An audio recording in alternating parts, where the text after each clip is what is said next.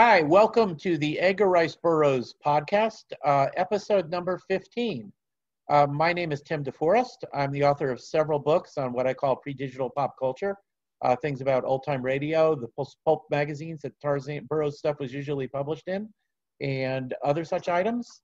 And with me tonight are, Jess, go ahead.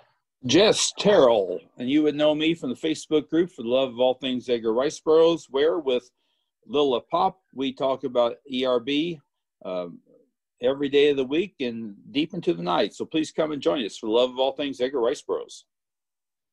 I'm Scott Stewart, uh, jack of all trades, mostly writing and editing.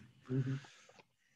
And tonight, uh, for our 15th episode, we are going to be talking about the novel Tarzan and the Golden Lion, uh, which was first serialized in Argosy magazine in um, let's see, December and January of 1922 and 23. Uh, Burroughs wrote it, I guess, in Feb- between February and May of 1922. Was published uh, beginning at the end of that year. It was a seven-part serial, um, and the first edition of this book as a hardback was in was later in 1923, uh, with a reprint in 24. And uh, since then, it has been reprinted repeatedly, as all of Burroughs' stuff has uh, in a number of paperbacks with uh, often with superb cover illustrations. And right now, as we record this in, uh, in the beginning of December 19, 2020, uh, 2020 um, the authorized hardback edition of this, put it being put out, the part of the series being put out by Edgar Rice Burroughs Incorporated, is on pre-order. So there will soon be um, uh, that edition available with another breathtaking Joe Jusko cover. I could not praise the cover that Joe Jusko is doing for the Burroughs for the Burroughs hardback authorized editions enough. They are, everyone is literally aghast when you look at it for the first time. Breathtaking.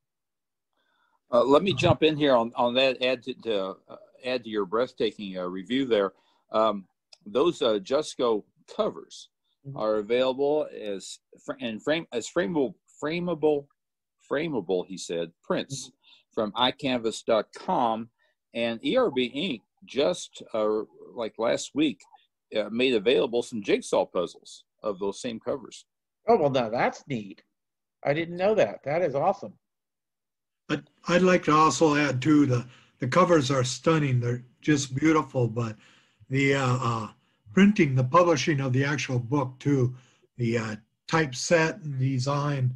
It's, it's, so comfortable and easy to read mm. and good sturdy hardback, uh, uh, sewn uh, binding. They're just, they're beautiful books. Mm. I, I, think it's pretty obvious that Edgar Rice Burroughs Incorporated is being run by people who just don't want to make money, which would be perfectly legit by itself, but really have, but have a real love of Burroughs's work and are treating it with respect. Agree. Okay, but uh, this novel, a very fun novel, by the way. I have to say that I first read this one when I read all the Tarzan novels as a young boy. And it was some years before I read it again. And my memory of it was it was just kind of pretty good. Um, uh, uh, but then when I re- got around to rewording as an adult, I was impressed by just how much fun it was. Um, so for so, so whatever reason, it didn't quite click with me as a 12 year old. But when I was a little older, it just I just could see just how great an adventure story it was, and I had a ball rereading it for this podcast. Um, but we are going to be summarizing it chapter by chapter as we normally do. Um, and Scott, you were going to pick up with the first seven, chap- seven chapters, I believe. Uh, yes, I'll, I'll be doing chapter uh, one through seven here. Yeah. Mm-hmm. So I'll, I'll, go ahead and pick up on that then. Yep. Um, uh, he opens up this story actually with the animal kingdom before he gets to the human characters. Mm-hmm. And this also helps set up some of the events uh, um, where he creates a family that you're starting to care about and some stuff happens in it. And they're animals but he's already getting care about that. He opens up with a, a lioness uh, he calls Sabor, is her name there. And uh, she has one cub, and she's very protective of that cub because the uh, other two uh, cubs she had have died from uh, from the weather and um, uh, malnourishment because she's not getting enough uh, food to uh, nurse all of them. So she's being very protective of that cub. And uh, then there's a, a ruckus in the noise. She's looking around in the jungle there and goes out. And uh, um, there's a native uh, from the area there who sees her and she wants to protect the cub too. So she leaps to him at the same time, uh, basically that he's throwing a spear, which goes through her, but she lands on top of him and kills him at the same time. Now the cub is orphaned, and you really, you really do feel bad. Mm-hmm. and it's not a overly graphic death scene, but there is an emotion in it when the way uh, Burroughs wrote it. Uh, uh, shortly after that, uh, the, the, cub is found by Tarzan, who's coming back from uh, Pal-ul-don with uh, Jane and his son Korak. And Pal-ul-don, you'll find in other books and stuff and adventures they have in in, a, in the lost land like that. But now they're returning back to the ranch. So he picks up the cub and uh, uh, decides to bring it with him. When they're doing that, they stop at a village along the way, and uh, while they're there, they uh, make a trade or, or given a, uh, a dog that is there that can nurse, but who had lost her pups to a uh, snake, anaconda, or boa constrictor, something came through there. So uh, it's a, a, village called Uma, um, Umaga, um, Umaga, Umaga. yeah, uh, I'll go uh, Umaga for that. and um, the, the, name of that dog is Za. Mm. And uh, Tarzan names the lion Jad Jad Bajal. Jad Bajal. Um, and if I get the name wrong, you guys are welcome to correct it. But uh, he, uh, uh, that name means golden lion, and that's in the language of uh, uh, one of the languages from Pal-ul-don, who they just came by. Then they end up getting home, and when they get there, they see that uh, a lot of the ranch has been, or estate, plantation, whatever you want to call it, has been rebuilt by those allies and friends of his and the Waziri tribes members who, who lived close to him because it had been destroyed earlier in a raid. Hmm. And that pretty much is what you got there in, in uh, chapter one. Do yeah.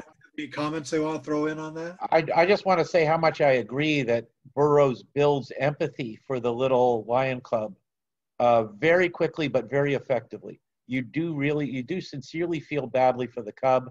So you're rooting for Tarzan when he decides to adopt it, um, yes. which he does, uh, even though Korak, his son, thinks that trying to raise and domesticate a lion, although he never really domesticates them, uh, is probably doomed for failure. They, they actually make a bet about whether or not Tarzan can raise this to uh, raise the Tarzan to uh, raise the lion to be obedient and to you know not eat all their servants. The, yeah. the banter the banter between Tarzan and Korak I think here is, is really neat and it's a, mm-hmm. it, it's it's good family fun uh, a mm-hmm. competitive mm-hmm. conversation and I really wish we'd seen more of that in in these stories. Um, but what we do get here, I think, is is very very well handled and just really adds a lot of flavor to the story. It is fun because as as as uh, far as the regular books are concerned, we never get more than occasional cam- uh, cameo of Korak with uh, again in the rest of the series, do we? If he's mentioned at all. Uh, that's so, that's about right. There is yeah. over in Tarzan and the Ant Men, which comes after this book. Mm-hmm. There is some opening comments there as Tarzan's about to take uh, Korak's airplane for a ride, uh, which leads leads into that entire adventure. Uh, so they have a little back and forth there. But but again, that uh, Korak's screen time, so to speak, is just a few pages there. Yeah, and we really don't see much of him. I wish we'd seen more. Yeah, we we had to wait for Dell Comics to give him his own series to actually get yeah. the the adventures of Korak in any in depth way.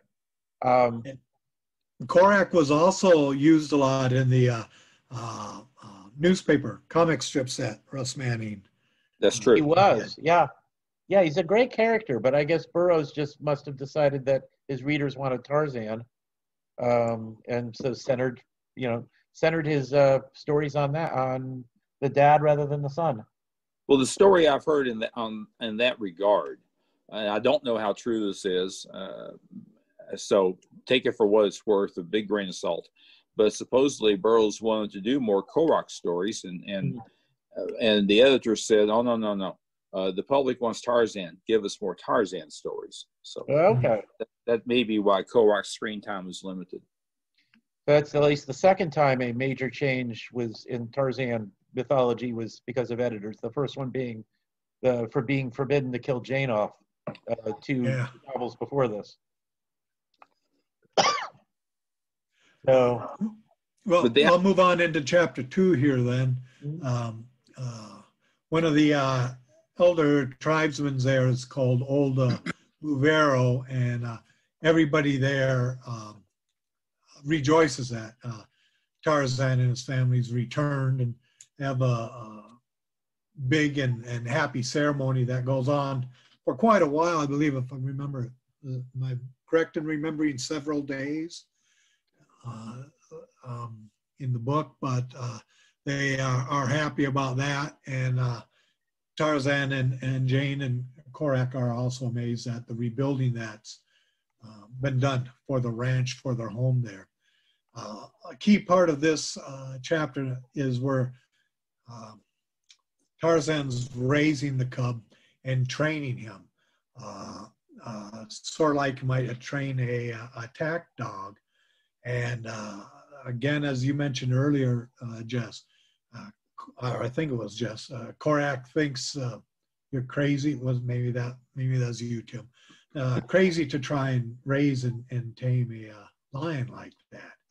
But Tarzan goes through the different uh, techniques to uh, have them moving slowly and then faster and bigger and what he catches and brings back and returns to him. Then he takes it out uh, into the field for a real, real world test. And Korak again's like, you know, hey Tarzan or Dad, you know, you're nuts. You can't do that. You, you, what you've done is created someone who's actually going to kill people and uh, kill us or kill you when he returns. And uh, Tarzan and he bet each other a hundred pounds. So uh, you know, those they're doing pretty well when they can bet a hundred pounds. Mm-hmm.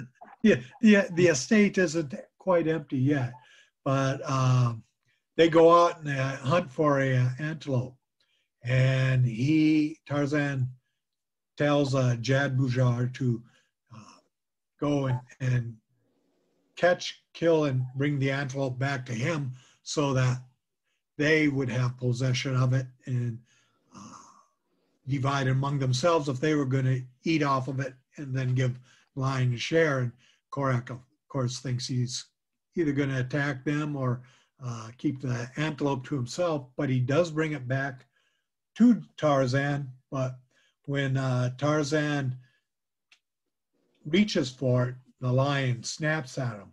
But Tarzan was expecting that and throws the lion on its back and holds it down, uh, thereby playing what we we've seen if you watched uh, uh, episodes, uh, documentaries about wolves and other animals about that alpha male. So mm-hmm. Tarzan's taken, showing that he's the leader of, for the line of the pride, and that he's the boss. And in that way, uh, Jad Boujar uh, subjugates himself to that. And uh, I guess uh, Korak loses his bet. You know, uh, Tarzan's able to create several commands that um, uh, the lion understands and follows. And now, now he's got got a hunting lion instead of a hunting dog as a companion. Mm-hmm. And I, things to add to that? Uh, I say that I, I think it's interesting that he that Tarzan doesn't train Jad-bal-ja to never attack a man. He just trains him to only attack on command and not to eat the man without orders. It's like mm-hmm. Tarzan knows if he's got this lion companion, his life is such that sooner or later there's going to be somebody he needs the lion to kill. So, so he's just preparing for that in advance. Yeah. Building on that, if I may, you know, in some respects, this is a story of a boy and his dog, mm-hmm. uh, and and the various yeah. adventures they have. They kind of, well, I don't want to say, well, I will say this: they kind of grow up together, or at least they grow together uh, over time through through their closeness. I don't think Jad-bal-ja is ever let into the house that we know of, and eventually he is confined confined in a cage after a while, but he gets to be full grown. But mm-hmm. but he is closely monitored by Tarzan, and and and, and uh, is proper and is trained to the best of Tarzan's ability when dealing with the wild animals' natural inclinations. I wanted to point out that, to our knowledge, Tarzan has two prior uh, experiences in training wild animals. Now, who knows what he was doing between books, mm-hmm. but in the books, there was uh, Beast of Tarzan, where he, where he takes a full grown leopard, cheetah, and, and trains said to be a part of his team that's uh, tr- tracking down his kidnapped infant. Um, and, and the time he spends with Sheeta there is, is very well documented by Burroughs. They hunt mm-hmm. together, they work together. The, the cat actually nuzzles up to him or rubs against him. You don't, if that happens to you in real life, you need to step back. Mm-hmm. But for Tarzan and this and this leopard, it seems to be a very normal occurrence. They have a, great deal of affection and respect for each other. Mm-hmm. The the other instance is in Tarzan Untamed. Now this again is a full grown animal, and the approach here is a little different because it's full grown. Tarzan keeps it cooped, as I recall, he keeps it cooped up in the cave, and the only food this lion gets comes from Tarzan. And Tarzan makes sure the animal is hungry. Doesn't mistreat him, but he does make sure the animal is hungry before he before he um, uh, feeds him. And then when he does let the uh, lion out of the cave, he's got a leash on it and big mittens on, on, on all four feet to keep him getting scratched. And then Tarzan just, you know, nudges him over to um, where the Germans are, turns him loose in the uh, in the trenches, and that's the that the great scene from World War One where the lion is uh, chasing all the uh, the uh, the enemy there. But those are two instances where Tarzan has trained wild animals previously. I wanted to be sure that we mentioned. Yeah, and I, I don't want to start dwelling on another book, but that action sequence in Tarzan the Untamed, where he's using a lion, a captured sniper rifle, a captured machine gun, and some hand grenades to decimate the Germans, is one of Burroughs' more epic battles uh, action scenes. Mm-hmm. So, uh, but yeah, so that takes us to chapter three, right, Scott? Yeah, no, I was just going to add on to what you guys were mentioning too. Um, this is a more realistic version of Tarzan working with and communicating with an animal compared to what I grew up with with the uh, Johnny Weissmuller movies, mm-hmm. where and first one I saw, I don't know, five, six, seven, eight years old, but in there, in the movies I saw in my mind read it almost like Tarzan was practically a Doctor Dolittle.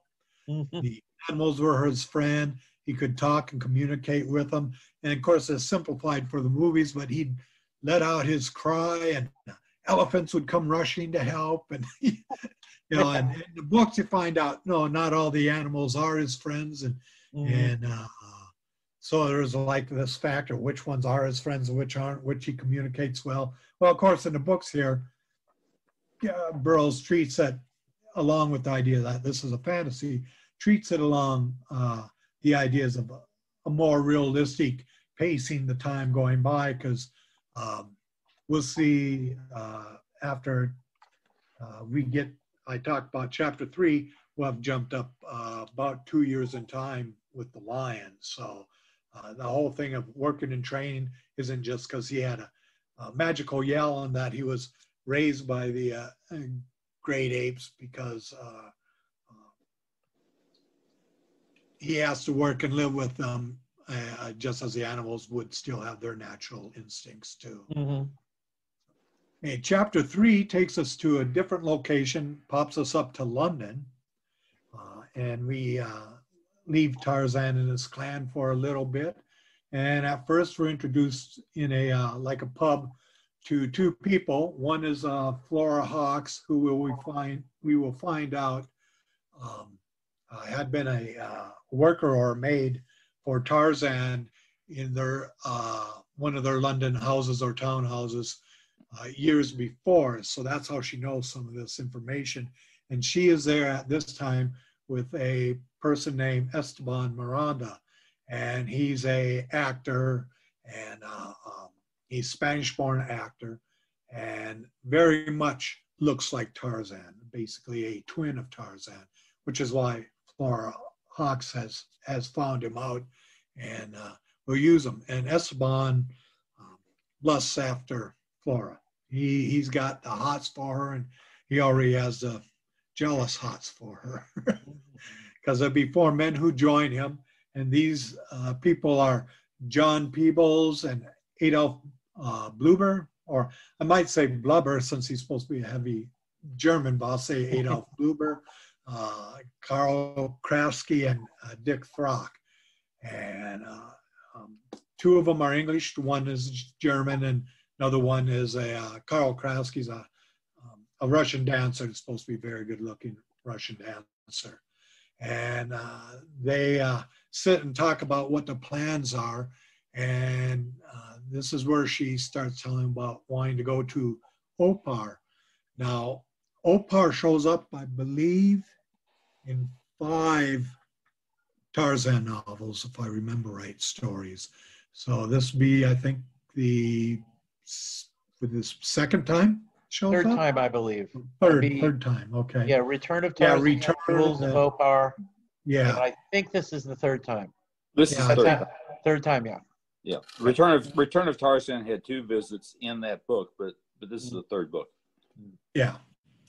Yeah. So uh, they uh, talk about that. Uh, the uh, German man is uh, very tight with his money, but he is putting the money up for the expedition. And Flora's job, uh, of course, she wants to do all this, go to Opar because of the wealth that is supposed to be there.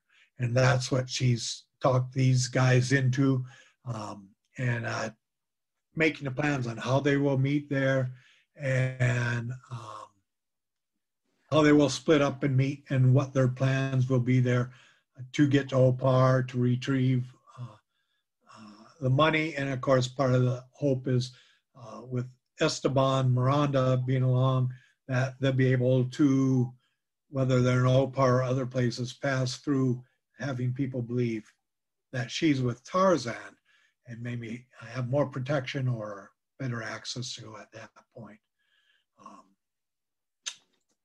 Uh, comments? Uh, I have to say that Burroughs does something, starts uh, something in this chapter that I think is an important theme through the book, is that we already get the sense that these people don't like each other and that in some cases they're going to be willing to double cross each other. And Bluber is going to cause disaster just by being such a penny pitcher and not getting penny pincher and not getting them the right equipment uh, even though he's supposed to be funding the expedition.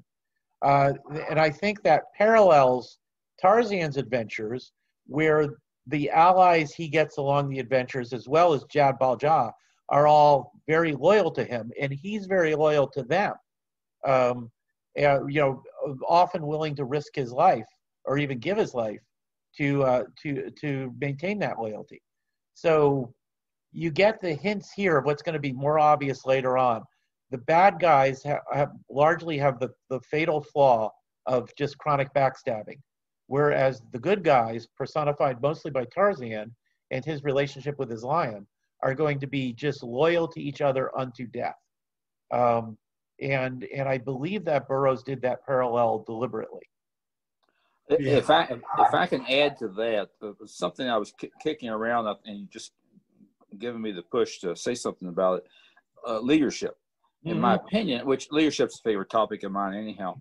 Uh, but in my opinion, those bad guys really lack leadership. That and I think that leads to some of or encourages some of their backstabbing and uh, and each of them having their own agenda and the lack mm-hmm. of trust. Now later on, they do establish Flora as a leader, but they're mm-hmm. they're already in Africa by that point. In my opinion, they sh- they should have someone who will who will draw the line and issue orders and, and keep them all on target as to their objective. They should establish that up front and they'll save them some time and effort, maybe improve their planning process uh, when, before they get to Africa. Mm-hmm. Yeah, I agree. I think I think that's another. I, I think that's a great insight um, that I really hadn't thought about.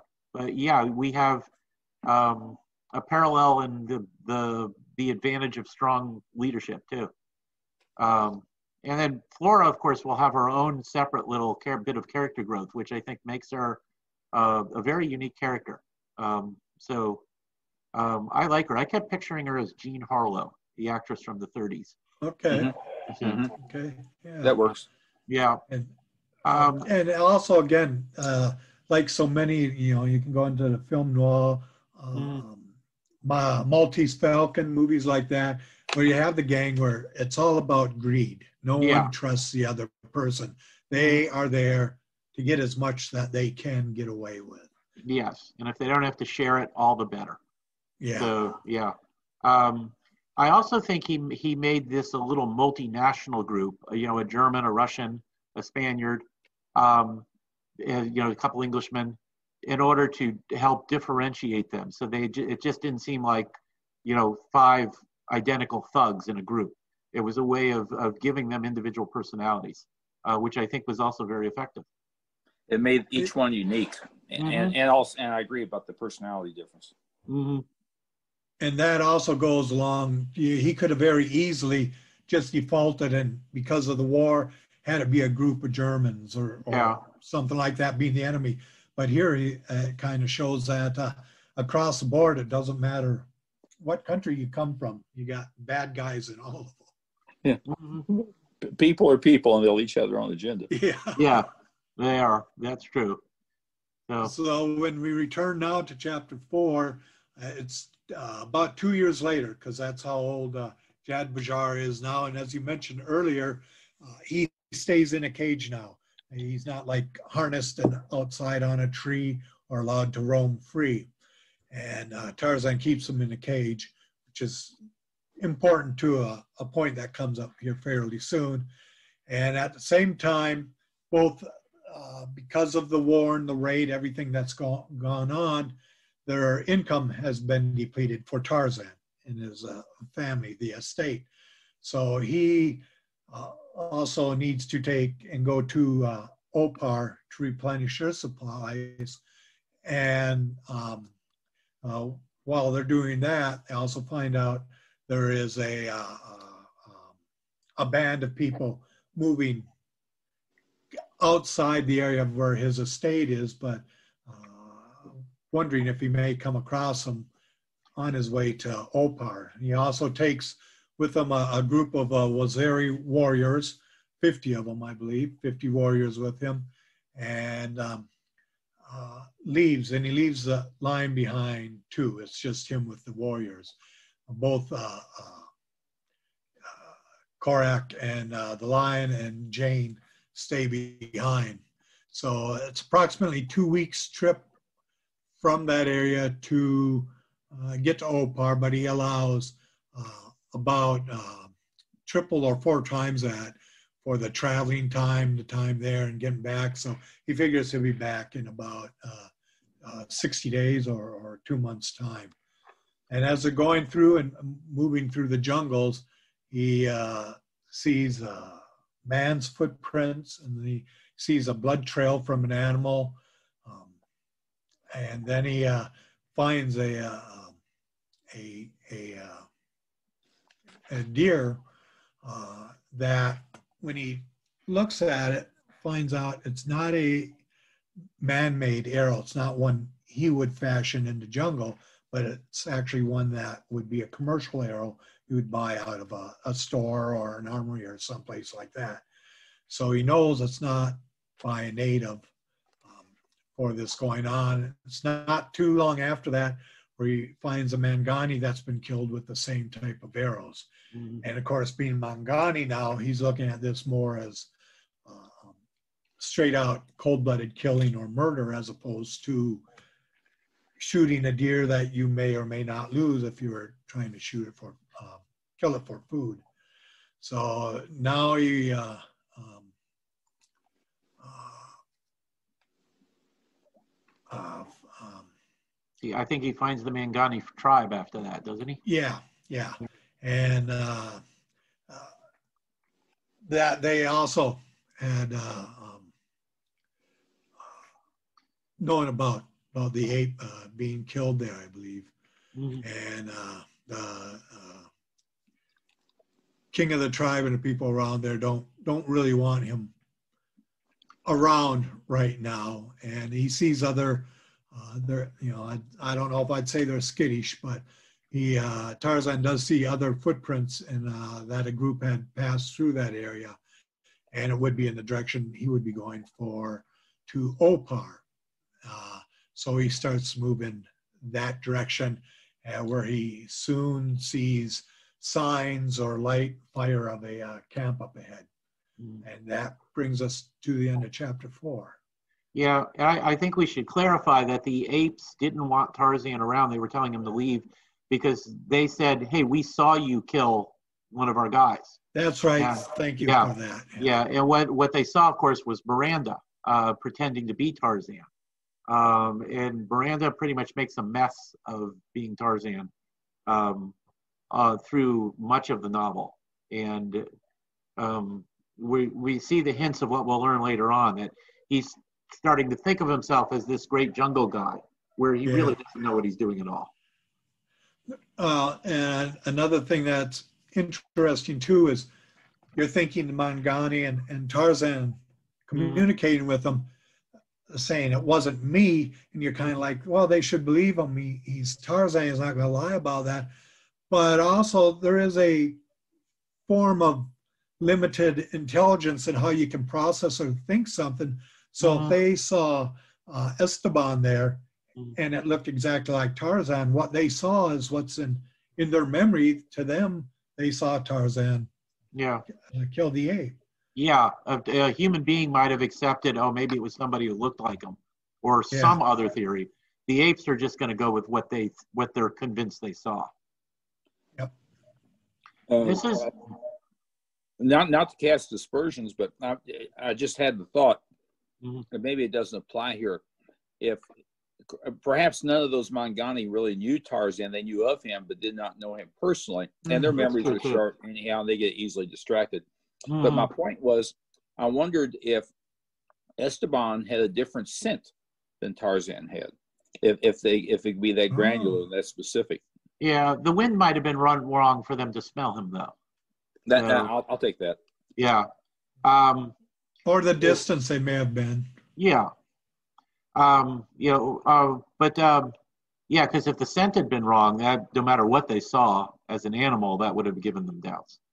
So you just assume that he was upwind or whatever, or downwind, whichever it would have been. It- Um, it, it wasn't blowing the right way. Gotcha. Yeah. Uh, the uh, the other thing I think we should mention is this is the second time, the first time being Tarzan and the Jewels of Opar, that Tarzan has gone broke financially and gone off to raid Opar for more gold to to maintain a fortune. Um, I I think his concern was always making sure that Jane could live the life that he, he thought she should have of comfort. Yeah. Um, I don't think he would have worried about it one way or the other if it had just been him. Um, but uh, but it was the in uh, Jewels of Opar, I believe it was mentioned that somebody did some bad investments uh, for them back in England. Yeah. financial Yes. advisor turned Yeah. out to be Somebody else was running their corporation, and Mhm. that's right. Uh, Yeah. made bad investments. Here it was because he had it- thrown he had thrown all his money into the war effort. So Yeah. It- It's hard though. It's hard to find a good accountant in the jungle. it is, isn't it? Um, yeah, but. Uh, um, but uh, but at least this time it wasn't as a if this if, presuming he had found an honest accountant the guy's probably tearing his hair out back home because he's he's trying to invest the money wisely and Tarzan kept saying now let's buy some more rifles for the British army or no Why, Uh, why am I getting all these bills for lion feed? yes Yeah, well, on, on a personal level, I'm sure you know Tarzan really cares less about money. But if you want to call it in the uh, refining years of civilization in London, he realized the importance of the money and could see Yeah. what the estate and what he could do with the estate. And as he Yeah. said, take care of Jane, uh, Mhm. uh, take care of uh, Korak. Though Korak ran away and and you know lived in the jungle, and he he could do without, without the money too. But that's Yeah. all. But every once in a while, my mind goes and said, "Well, isn't Tarzan really stealing?" well, I think the justification was that the Oparians don't know that gold is there anymore and wouldn't be able to spend it anywhere if they did. Yeah, And they're not using I- it for anything. I think you can, to to be honest, as uh, to I think you can argue that that's kind of a uh, trying to justify it, but Yeah, um, um, there you go. kind of a, kind of a finders keepers. Yeah, Well, I, I tell you though, for all the for all the the the pain that the Mhm. lie has been, yeah, that Tarzan has had in dealing with her, uh, uh, visiting the um, gold vault might might be it might make it all even. yeah. You could you can say that, or payment for all the people they've sacrificed to their sun god. Right. Um, yes. So Re- reparations. Yeah, reparations. That's great. Let's go with that. So, um, I've never really thought less of Tarzan because of it. I've just always wondered, um, you know, if I were in that position and we're thinking of what the morality was, would I make the same decision as Tarzan? yeah, Um, but Well, imagine the mess you'd have if you go to the Oparians and say something. Look, look, everybody, or um, I mean, tell everyone there, La, Cadj, all Yeah. the beastly priests, the uh, the uh, maidens in waiting, everyone there.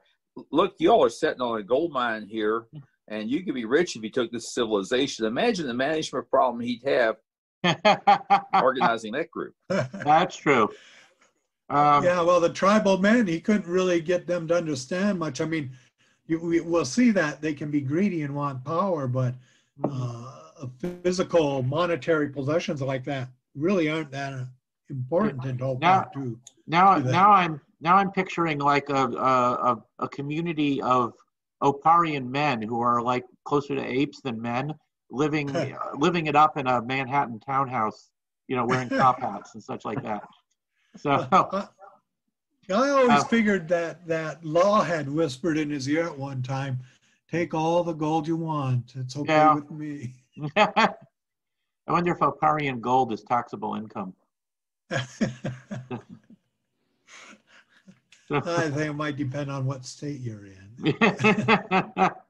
Like I said, it's hard to find a good accountant in the jungle. It is. It really is.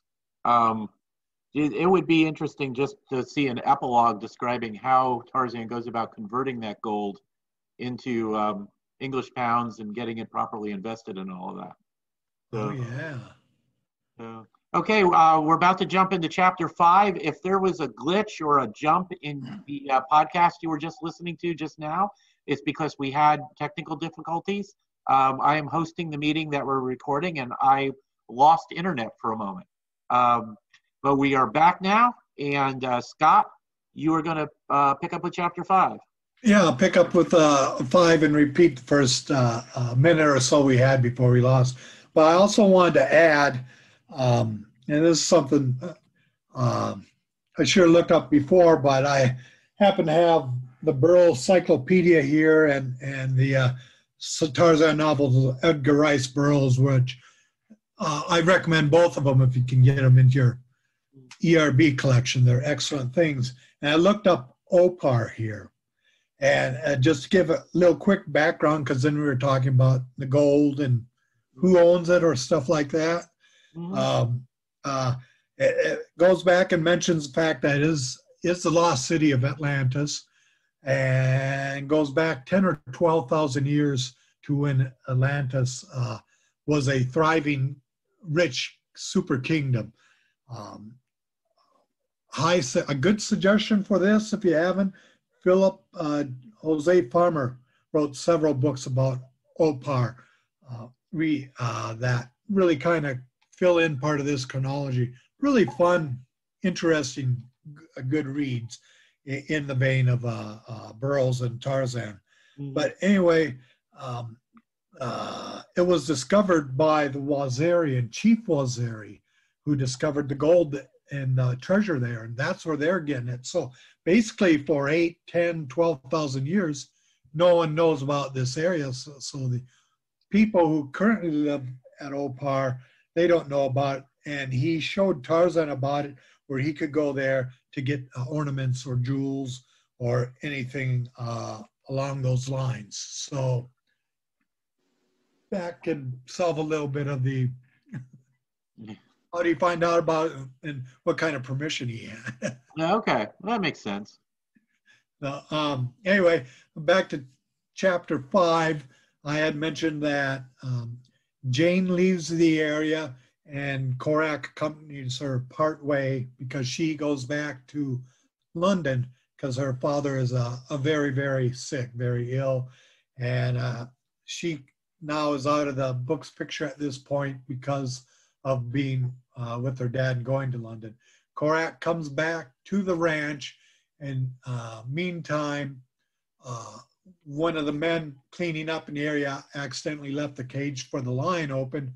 So our now two-year-old lion, which is going to be pretty good size, mm-hmm. has stepped out, and, and he's actually going to try to follow the track uh, um, that Tarzan took to catch up with him, like a uh, your good companion, your good hunting dog would do. Uh, while Tarzan, as we mentioned in the last chapter, thinks he sees the light of a camp up ahead. And he goes in there, and it is a camp, and it's the camp of our uh, crew, our friendly crew from London. And uh, when he comes in, the only one who isn't there is Esteban. So they think this is Esteban, just really playing Tarzan up to the hilt, and he doesn't quite understand who's saying what, and he doesn't know that Flora is in the tent next to him and recognizes him as being the real Tarzan. Uh, so she uh, tells one of the men, you know what, here's here's something, put this in his coffee to take him out of the picture, which he they do. And at that point, uh, he uh, is out, and um, we jump towards the uh, walls of Opar in the next uh, chapters. Anyone got? Well, I have to say, we, we, we now know why Tarzan wanted gold because Burroughs stresses that he really does like coffee, the one thing from civilization. So, so he can't be without gold because he's not going to find coffee beans in an African jungle. Well, the Starbucks is really high there for him. Yeah. Mm-hmm. So, yeah, if it were nowadays, he might have a Starbucks installed in his estate then. Yeah. so we get into chapter six now. Um, the uh, um, uh, Esteban with the uh, natives he's rounded up to work for him have arrived at uh, uh, the outer area where the treasure is hidden in Opar and start excavating or going down and picking that up to take it out of there.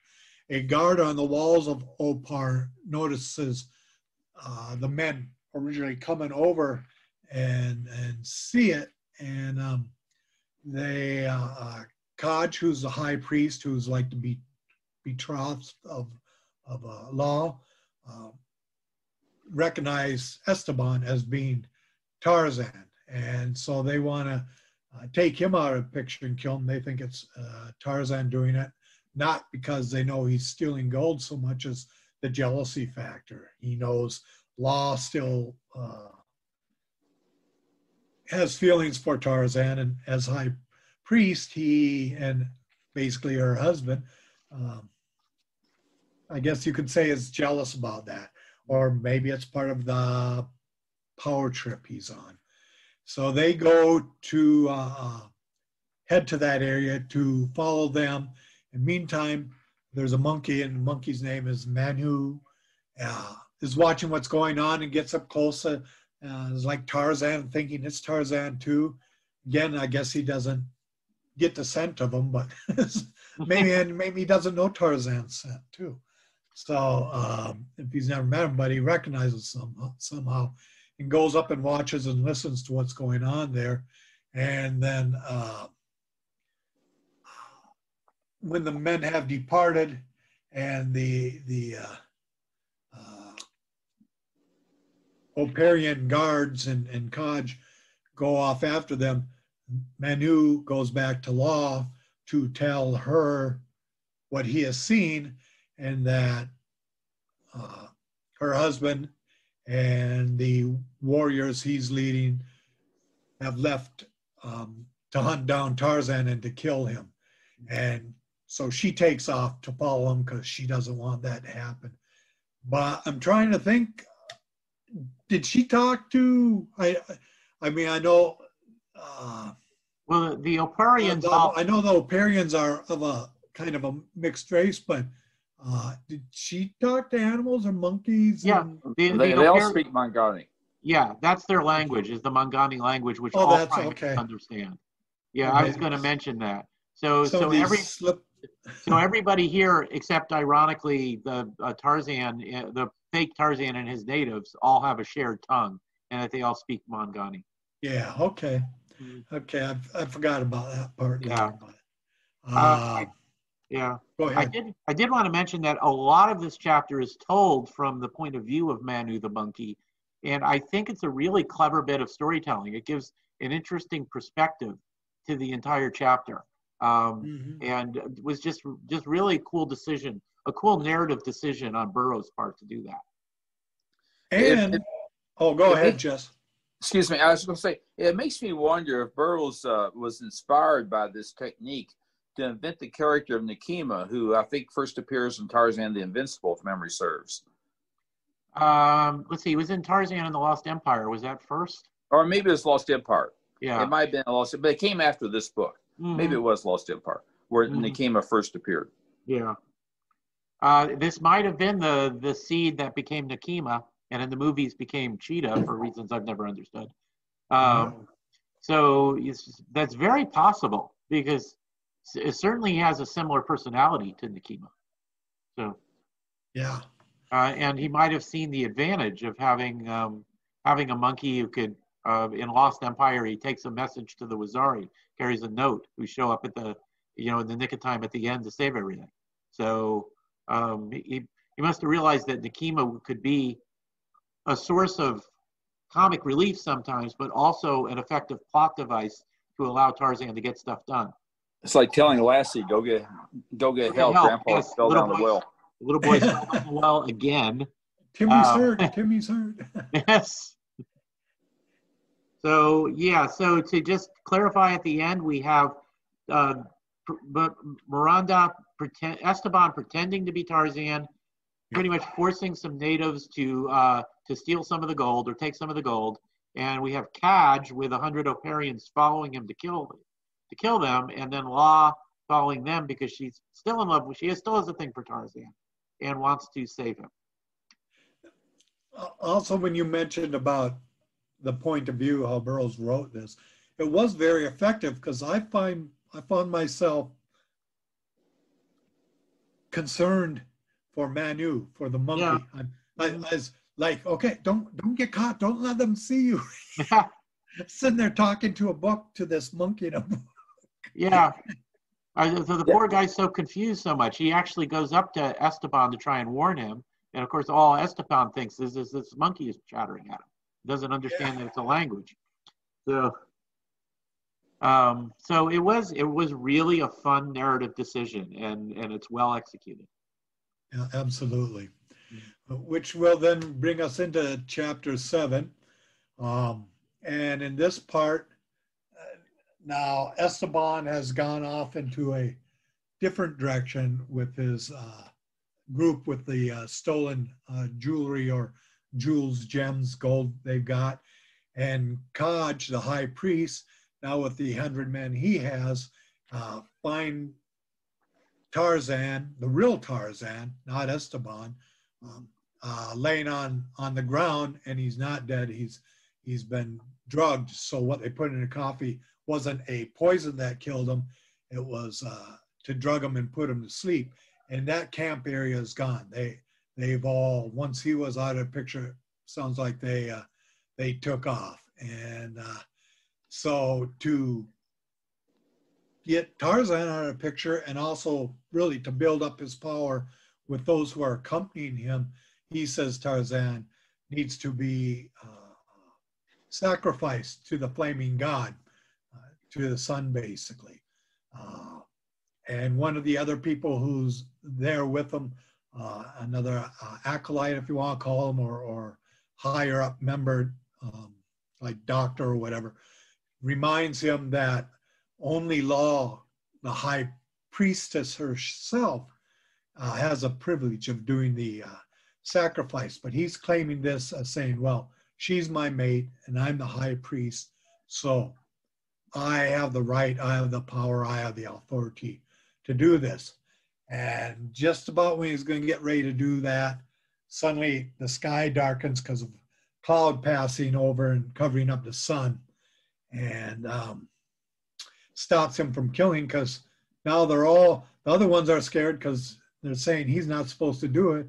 And Cadj is uh, a little taken aback too. He's believing he can still sacrifice them, but he's not going to do it in the shadows. and uh, uh, that's about time then when La shows up on the scene. And she says, No, uh, you will not kill him. We will uh, take him back with that. We will decide what to do or how we will sacrifice him, you know, properly in the chamber uh, in the area where they do it there. However, she explains it to him. So all the followers are saying, yeah, and Cadj has no, really no choice, but she's there now to follow because her word is the law. Mm-hmm. So they carry him back and they put him into a, uh, a prison dungeon cell type thing. And uh, when Tarzan wakes up, he just knows he's in in like this hole, this dark uh, cell.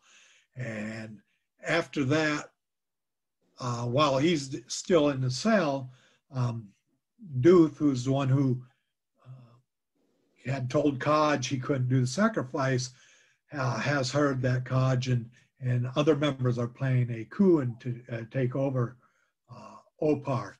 And he departs and gets uh, audience with La to tell her what's going on and that in order to keep control, she needs to take Tarzan and sacrifice him now so all the people rally around her. And that brings us into chapter seven, which brings shows Tarzan and his family coming back from Pal-ul-don, adopting the leopard, learning what the landscape is from the wreckage after the war, introducing the villain characters, and bring us to this point here. Mm-hmm. And um, uh, what I want to say first is once again we see Burroughs' skill as a storyteller because this is a potentially complex situation. You mm-hmm. have La who wants to, who has the high priestess and is supposedly in charge, but Cadj and a particular priestess, Oa, are planning a coup against her. And so you need to understand that situation and the motivations behind uh, all these characters.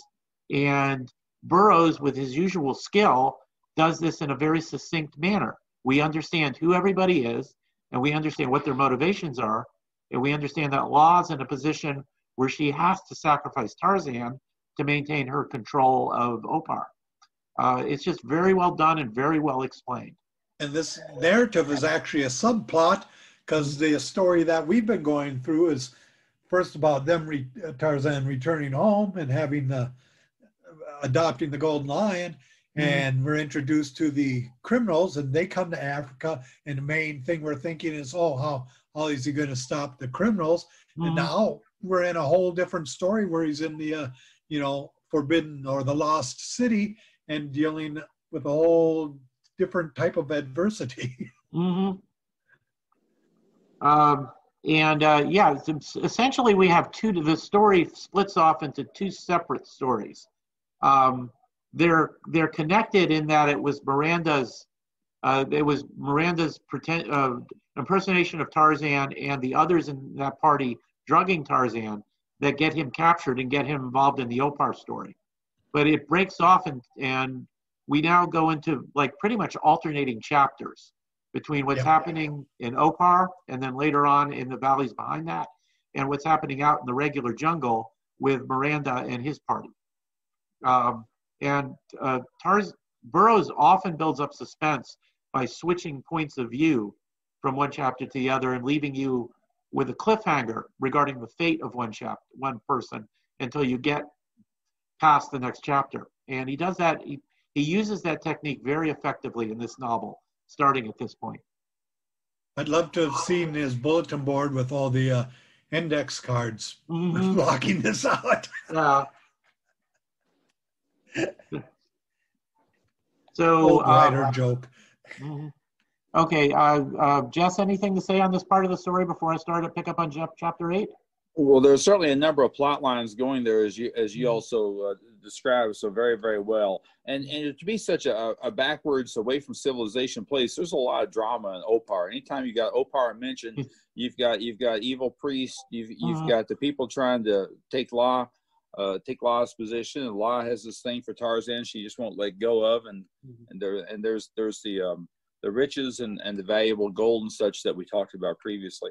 Uh, Mhm. One thing I'd like to cover real quick here that I was going to talk about earlier, and I want to make sure we get this in. I may bring it up again later on, and that is uh, geography. The, the the we've got three valleys here that we are that we are are discussing, or three three valleys that are involved in this.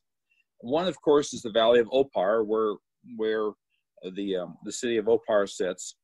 Um, but in chapter eight, uh, which we're coming to here shortly, uh, chapter eight entitled "Mystery of the Past," there's a reference to great apes that dwell in the valley above Opar.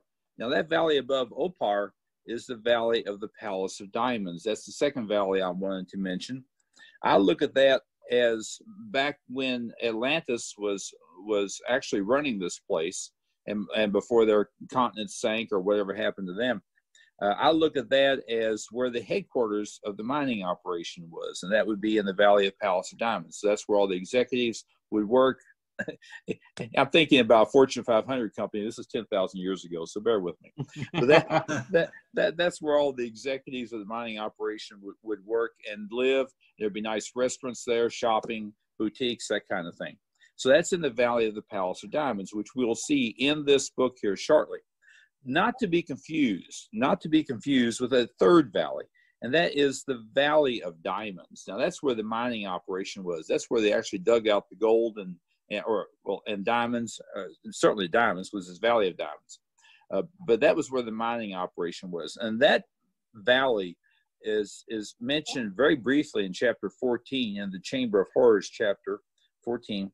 But that valley really is not discussed here but it does appear in Lion Man. That's where they talk about the Valley of Diamonds.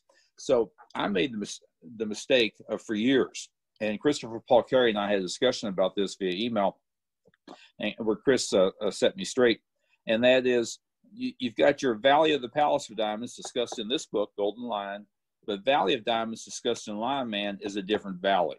Uh, next door, perhaps, but it's a different valley. So that, that's the distinction I wanted to make. And Opar, of course, has its own valley, which we've been to Opar now several times. All right, Mhm. that's all I needed. Okay, but it is it is an important to be to be able to follow the action of the novel is to appreciate that that bit of geography. Well, Um, if you ever go on to visit, you want to make sure you know which valley you're going to. that's true. yes. Um, yeah, Tarzan would just want to know which one the Starbucks is, is located in. so, um, so the, uh, um, anyway, shenanigans continue in chapter eight. Uh, the uh, the the people plotting against La, uh, you know, come up with an idea to send a messenger to Tarzan to tell him that La is going to help him escape, and then they can kill him when he when he actually tries to escape, and then charge La with treason. But La uh, herself manages to get lead Tarzan out of the dungeons and into a wooded gorge, and they leave. They, they go out of Opar in a direction Tarzan has not been before, and come to what we will find out is that second valley, um, would be the Valley of the Palace of Diamonds. Um, and it, um, there is a legend of, of apes who are half men living there. Um, they do see a palace among the trees, and as they travel on, they come to a native village uh, with beehive huts that are suspended from the trees. And the natives there are uh, have ape-like characteristics. They're obviously not quite as evolved as as actual human beings. Um, so they're uh, Tarzan, I think, considers them even a bit lower on the evolutionary scale than the natives of Pal-ul-don that he had met in the previous novel. Um, but they do carry uh, advanced weapons, javelins and battle axes and such. And as La and uh, Tarzan are observing the village, they see a gorilla, a Bolgani in the Mangani tongue, um, with, with the brains of a man arrive. He's wearing gold and diamonds. And as the chapter ends, he begins to speak to the villagers there, to the natives. Um, and so in this chapter, we really have Burroughs beginning his world building, beginning to put together what the society in this village is, which we're going to learn is these natives being subjugated and enslaved by the intelligent gorillas. Um, just a, really a, a, rather unusual situation, I would say. Uh, you guys have any comments on this chapter before? That's a good summary. Okay, yeah. Yep. Um, so the chapter nine picks up right from this. Uh, we will soon, in chapter 10, we'll be returning to Esteban and his group. But for now, uh, Burroughs keeps us in this, uh, the Valley of the Palace of Diamonds, where the Bolgani is selecting women and children among the natives to become slaves. So Tarzan kills the guy. Um, and the natives begin explaining that the gorilla is one of the chosen people of Numa, the kind of lion emperor who lives in the Palace of Diamonds. Um, and they come and take slaves uh, pretty much whenever they want um, and take them off to, to do whatever, whatever work they need the slaves to do. Um, and Tarzan tells them that La is his mate rather than trying to explain the actual situation and tells them to guard La while he hides the dead Bolgani so that they're not blamed by it. So they prepare a hut for La and Tarzan leaves. So Tarzan in this chapter starts to get some information on what's going on here. It's not just the gorillas in charge, but over the gorillas, there's apparently a lion who's considered to be the emperor of the Palace of Diamonds. Um, so even from Tarzan's point of view, and he's he's runs across some pretty weird civilizations. This one has got to strike him as unusual. Makes um, me wonder whose idea it was to put a, lion in charge. Yeah, they never really explained that. Probably something lost to Bolgani tradition. But you do have to wonder how they originally decided to put to make a lion literally literally their emperor. Um, it's not like he can make political decisions or anything. He's just kind of there to have them throw slaves to to eat every so often. Nobody's going to argue with him, that's for sure. Well, that's for sure. okay, but um, here is where um, uh, uh, Burroughs starts alternating between the two different stories that he has, I believe. Um, he jumps back to the to the regular jungle where um, Esteban is leading his hundred natives that he's recruited in the guise of of Tarzan of uh, Tarzan they're they're getting really weary carrying this gold. Um, Tar, you know, Burroughs is perfectly aware when he's writing this story how much gold weighs, um, and Esteban is having trouble killing enough game to keep them all fed. So there's grumbling and there's arguments, and uh, uh, you know this is where their plan starts to fall apart from just being poorly planned out. Um, he's rejoined, by the way, Flora and the others by this time as well and uh, she, uh, uh, Flora pretty much takes charge um, because none of the others are capable of cooperating enough to make a decision. Uh, she decides they need to to uh, to camp out and hunt for enough food to feed everybody before going on. And she tells Awaza, who's the head man of the natives, her plans. And the next morning they go out on a hunt. Uh, Esteban, by this time, has just gone completely, he's moved totally into crazy town. He's beginning to think that he actually is, he is Tarzan. And he goes off hunting alone and he meets up with the 50 Waziri warriors that had, that had traveled with Tarzan uh, from Tarzan's estate. And they're glad to see him because they think he's Tarzan. They give him up as lost. So it's like, hey, Tarzan, you're alive. This is so awesome. And uh, Esteban just goes with this. And he tells the Waziri that there's some white men nearby who have stolen gold from Opar and that the Waziri have to help him raid their camp and take the gold.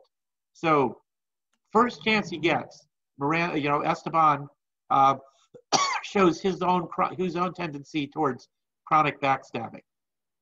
Um, he has to communicate in English because he can't speak Waziri, and he explains that you know he he, he uh, uh, knocked his head and gotten some partial amnesia, and he can't remember the Waziri language and he can't remember any of their names.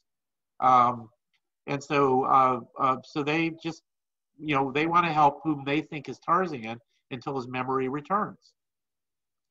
They they uh, they take all the gold from the camp. So when Flora and the other uh, people in her group return, they find they've been wiped out. The, there's no money there anymore. The gold is gone. Um, so uh, uh, Esteban also leaves a message that Tarzan, quote unquote Tarzan, has killed the false Tarzan. Uh, so he's trying to cover his tracks. He's trying to arrange it so that they won't look for Esteban. They'll think he's dead.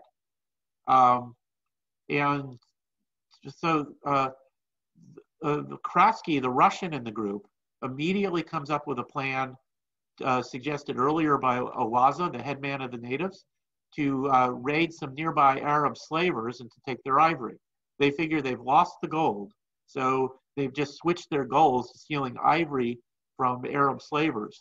Um, and once again, there's a lot going on here, a lot of motivations, a lot of shifting situations that Tarzan explains, or that Burroughs explains very clearly. Um, it's just one of the most, uh, as I read these books with the intention of analyzing and discussing them, I'm more impressed than ever before at, at Burroughs' skill in building what could be a complicated plot, but explaining to us to, to us so clearly that we never get lost on what's going on.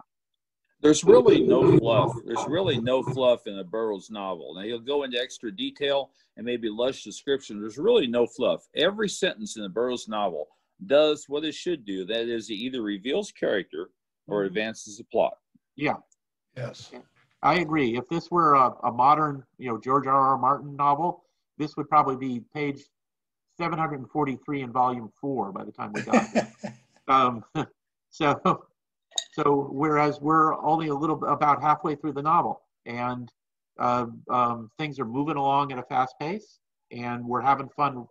We're having fun living this adventure with them, and yeah, just no no problem at all in being able to follow a potentially complicated plot. Um, chapter 11 takes us back to the Valley of the Palace of Diamonds. So, uh, so, he, so Burroughs continues to leave us with a little bit of a cliffhanger on one chapter and then switch to his other story to, to catch us up on that. Um, now, Tarzan hides the body of the dead Bolgani that he had killed. Um, and he follows the smell of incense to the to explore the walled city of the Bolgani, the Palace of Diamonds. Um, he sees an elaborate building that's covered with gold and diamonds, and there's flowers and and and landscaping and ornamental trees that are tended by native slaves that are being guarded by the the, the gorillas. Um, he also sees a procession of Bolgani leading a, a lion uh, in golden chains, and everyone's bowing down to this old lion. You know, and he actually thinks about this is topsy turvy. The food chain should be the men on top, then the gorillas, then the lion. But here, the lion is on top, then the gorillas are serving the lion, and the men are serving the gorillas. So it's it's the normal way of things completely flipped around. Um, and uh, um, he uh, he also theorizes that this was built by the ancient Atlanteans um, to just you know guard again to guard uh, uh, their the gold mines of Opar and obviously the diamond mines that we'll learn is is later on is just one valley over as well. And that's a reasonable theory. I've no I've no doubt that that is that this palace is of uh, from the original Atlantis civilization that Op- the Oparians are descended from. Um, so he hides the dead gorilla, um, and he investigates the mountains in the back of the valley because at this point his main motivation is finding a way out with him and La. Um, he doesn't necessarily want to get involved here. And he finds the mines being worked by slaves, being guarded by the gorillas. He finds no way out there, and he returns to La in the native village. But he finds the village empty.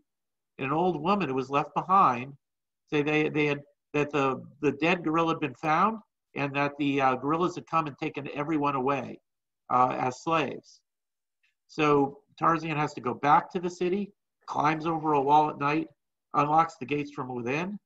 Um, he climbs up some ivy along one of the towers, and he searches for La through many rooms. And just as he opens a door to, on one of the upper upper floors, he sees a man, a white man, standing nearby. Um, and so that is chapter 11, where uh, Burroughs is still building uh, building this world, building this civilization for us, and uh, throwing Tarzan into a situation where he's going to have to get involved with the palace because La is now a prisoner there.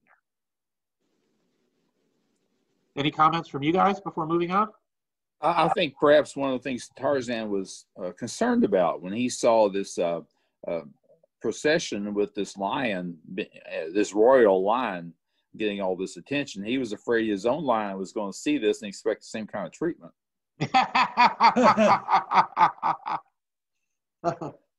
Jad-bal-ja will learn he doesn't have to be the, the servant. By golly, he can be the master. So, um, another thing I noticed um, that's crossed my mind, and here in other books we've talked about, and, and that we've read too, is um, when Burroughs looks a lot at the cultures or the societies that are discovered in his books. Mm-hmm.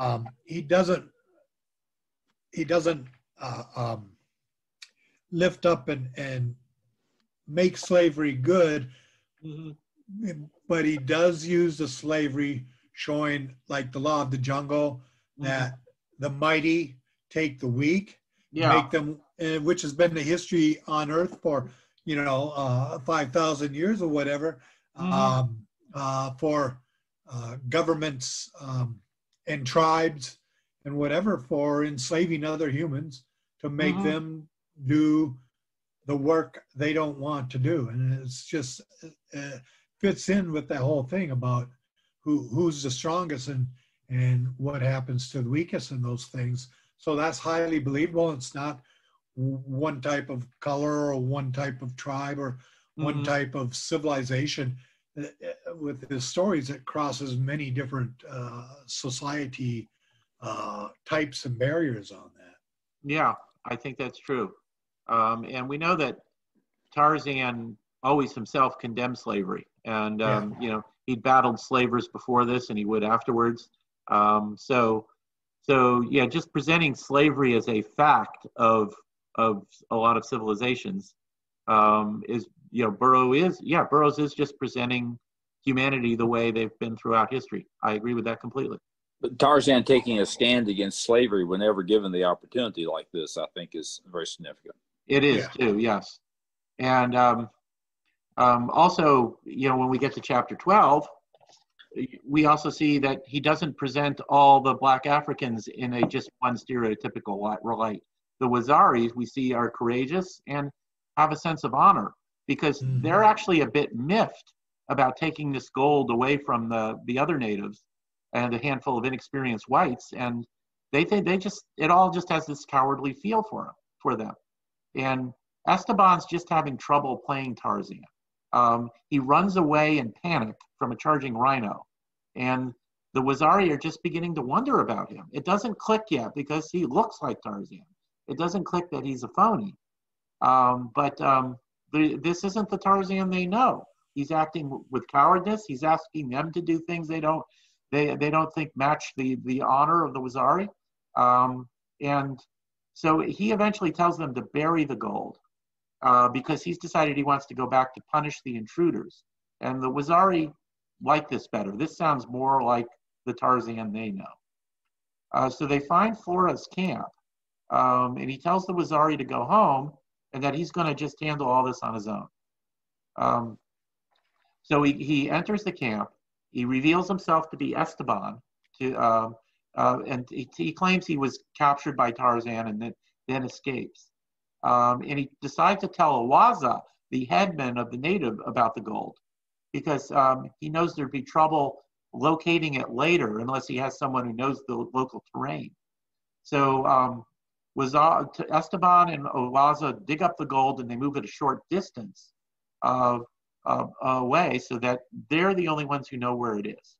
So um, we get once we start to get the difference between Tarzan, who's risking his life for La, staying loyal to him, and all the backstabbing that goes on amongst the bad guys, especially Esteban here, who just acts with cowardness and treachery in, in everything he does. Um, that's chapter 12. Any guys, anything you guys want to add? Nothing. No, I think you covered it well there. Okay. Um, so then we, of course, we leave this little cliffhanger again as we jump back to um, to Tarzan, who remember had just encountered a man inside the, the Palace of Diamonds. And this is a guy who had been captured as a boy when he stowed away on the ship that brought um, Stanley to Africa. The guy, you know, the reporter who went to find Dr. Livingstone, um, which doesn't really affect the story, but I think it's a fun little backstory that, that just gives gives this character a little more personality. It's um, a, a, touch of reality. Stanley Livingstone a real thing and a big deal. Mm-hmm. Yeah, and I, it's just a nice touch. Um, so, and he tells Tarzan that La will be safe for a few days, um, and that there is a mine tunnel that leads out of the out of the this whole system of valleys, but it's guarded. Um, he also learns that there's about 5,000 native slaves and about a thousand or maybe a little more Bolgani. So the slaves seriously outnumber the gorillas and they want to escape, but they have no sense of community and they've been captive so long that that, that it's become kind of a habit with them. And um, the, the, you know the, the guy tells Tarzan that La is being held in a, in a specific location. Um, he's but he's seen by one of the native slaves who reports him to the Bolgani and they tell this guy to lead Tarzan into a trap. Um, but the guy's not terribly bright, and he comes back to Tarzan and tells him, "Oh, I've got to lead you into this trap." So Tarzan persuades the guy to lead him to La instead, um, and he finds her in a throne room with with Bolgani and with that lion, the lion emperor. Um, so he sends the guy back to tell the other slaves that they can escape with him if only they'll just pull themselves together and try. And then he sees the Bolgani about to feed La to the lion, the lion god. And so he leaps into the room, and the, the chapter ends with him throwing his spear, uh, which is, I just think, a great, um, a great uh, uh, a cliffhanger. Um, and it's another great chapter. Gives us more information about what's going on, introduces us to some cool new uh, characters, and begins to plant the, sle- the, the, the seeds of the slave revolt that will happen uh, within the next few chapters. This was chapter 13, right? Yep. Mm-hmm. Uh, that chapter, I just want to point out that chapter is entitled "A Strange Flat Tower," mm-hmm. and Burroughs doesn't really tell us anything. Uh, it doesn't tell us much more other than it's a strange flat tower. Why mm-hmm. would a tower be flat? Typically, they're not. Um, that is expanded upon a little bit in the ancient Opar books that uh, Scott uh, mentioned mm. earlier. Um, yeah, and there's something actually I failed to mention that I should have. There's a scent of incense that's being burned all through this palace that's interfering with Tarzan's scent, which is one of the reasons he was having trouble finding La. So it's kind of a nice little another plot twist, coming up with a reasonable excuse for why Tarzan's having trouble finding La and uh, allows him to meet the, the old white guy and, and uh, get the other plot points going as well. So another clever bit of storytelling. Incense is Tarzan's kryptonite? Yeah, apparently so. That and coffee. So we're, we're learning as we go here. We are. Um, so chapter 14.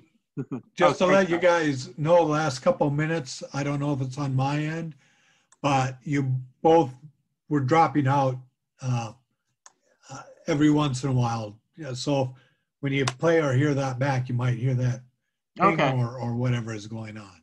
Okay. Um, hopefully that won't interfere with the recording. Yeah, most, most, yeah, and, and most of it's coming through, but every once in a while it sort of sounds like an eh, eh, eh, ah, and then goes back to whatever. Okay. It might be my connection too. hmm Okay.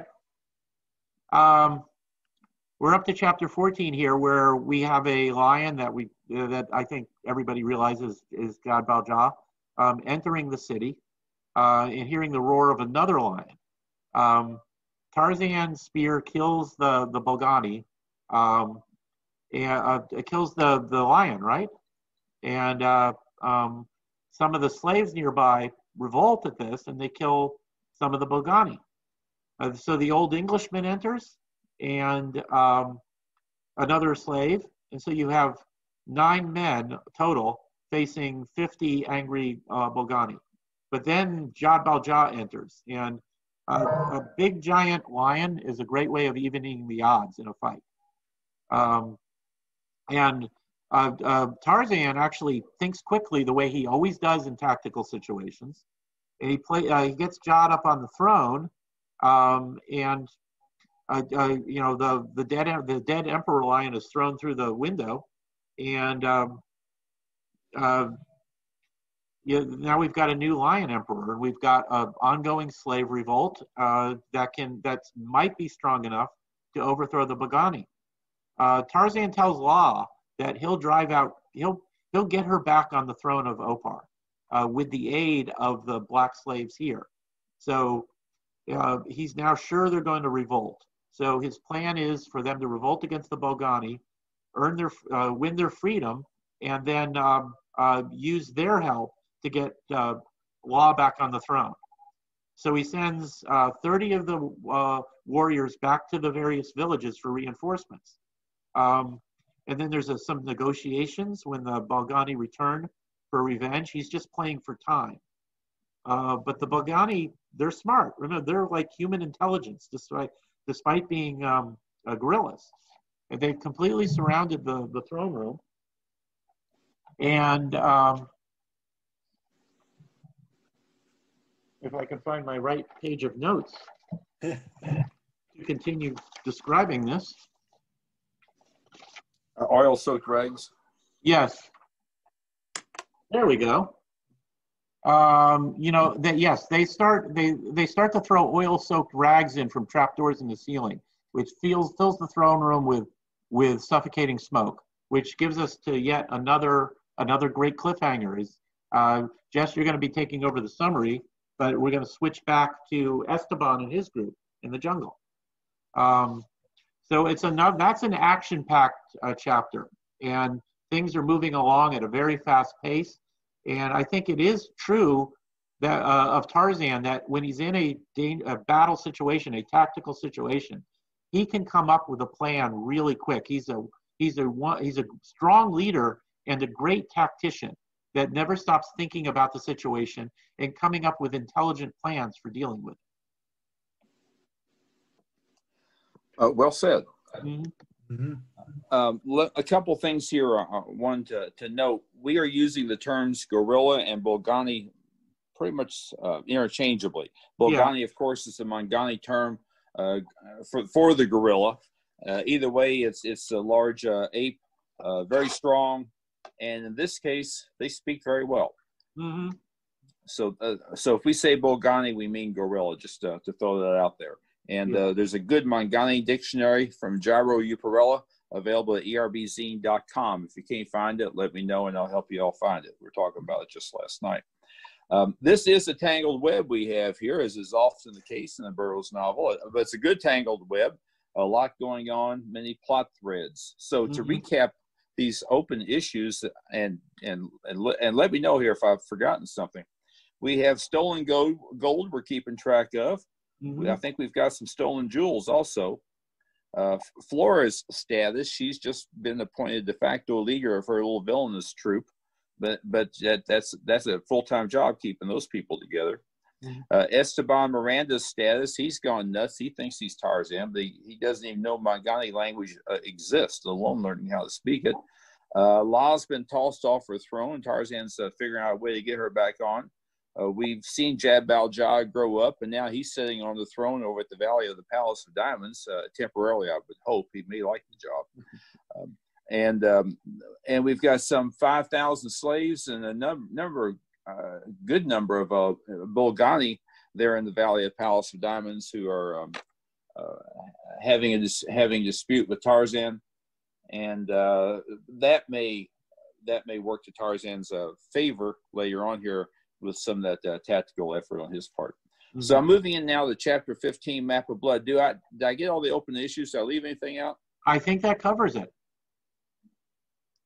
All right. Well, we'll see if we can untangle this web here. Chapter mm-hmm. 15, Map of Blood.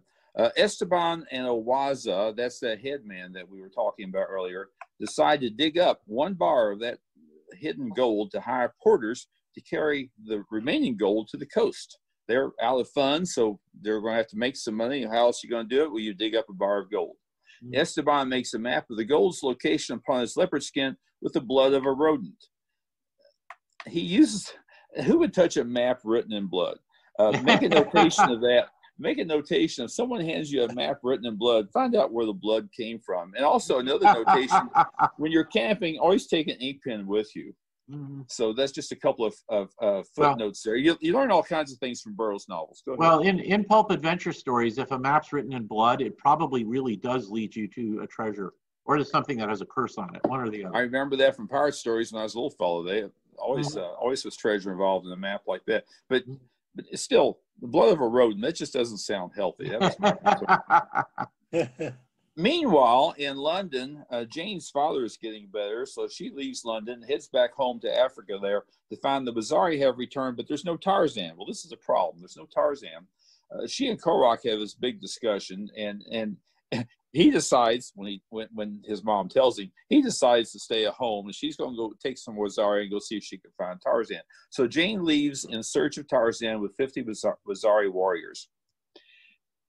Esteban and Owaza do not return uh, to the uh, Hawkes party. They're off on their own now. Luvini, who now serves as headman, convinces Flora Hawkes that Esteban and Owaza have decided to attack the Arab slavers on their own. So Flora Hawkes and others head for the raiders' camp. First, they send ahead a runner to warn the raiders about Esteban and Waza, who are actually heading a different direction. There's a lot of confusion here mm-hmm. and misinformation. It's a wild goose chase. That's Carl Kraski's idea. He hates Esteban, and the Hawkes Party is floundering and making ridiculous plans according to changing circumstances, incomplete information, and subplots. It's like watching the Keystone Cops. When mm-hmm. Flora Hawkes and friends reach the Arab camp a week later, the Arabs are suspicious, having seen nothing of Esteban and Awaza. Meanwhile, and, uh, as coincidences occur in the jungle, Jane Safari sets up camp just a mile from those Arabs. Luvini plans, the new headman, plans to betray Flora Hawkes and friends by killing the Arabs and abducting Flora for sale to the Sultan of North Africa, as if we didn't have enough going on. Mm-hmm. But but Flora Flora is warned of the plot, so she leaves the Arab camp just as the mutiny of slaves begins there. After killing the Arabs, Luvini follows them into the jungle with his band of ex-slaves. Um, and I think we get, you know, Flora is going to have a redemption story arc. Um, you know, by the end, she'll have realized the error of her ways. The fact that she can befriend a little boy uh, enough to where he likes her to to uh, warn to warn um, uh, her of the of the plot, I think is our first hint that Flora isn't all all bad. That she still has some good in her. Well, after after everything she just went through in that last chapter, I just summarized, and that was a mm-hmm. summary. The details much better than I can relate it. Uh, mm-hmm. That that was all to make her think about her behavior. Yeah. Uh, so, meanwhile, over in chapter 16, entitled "The Diamond Hoard," Uh, picking up the fight that uh, we uh, left in chapter 14, under cover of smoke, bomb, smoke bombs, the old man from the Palace of Diamonds, and Burroughs only calls him the old man. He was the guy who was with Stanley Livingstone. Uh, the old man leads Tarzan alive through an exit behind the throne that goes to the basement of the Tower of Diamonds.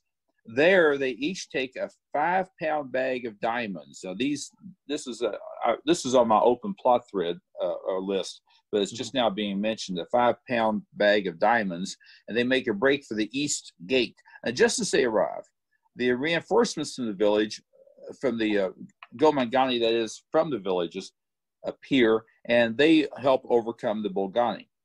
The natives want Tarzan to be their king, but he nominates the old man to be their leader. The 100 ma- remaining Bolgani agree to act as La's bodyguard and return to Opar to punish Cadj. So this is Tarzan doing some more of that tactical thinking on his feet. So the, the with those Bolgani, some 100 Bolgani and 3,000 Gomangani, they move towards Opar. So Tarzan has a good sized force now. Now Manu the monkey, though, uh, who is a chatterbox and is working really with with the Oparians, warns Opar that there's this large force coming their way. Five, uh, 100 Bolgani and 3,000 Gomangani. Great battle breaks out, big battle. Cadj escapes to the sacrificial altar. This is in Opar now during the battle. Cadj escapes to the sacrificial altar where he's about to kill Tarzan, who's been knocked unconscious by the beastly priest. This happens. Fortunately, Jad-bal-ja arrives like the cavalry in time to bite off the face of Cadj, so that takes care of him. Um, the fighting is um, is resolved. La is reestablished as queen. They have a great banquet. Tarzan and Jad-bal-ja head for home.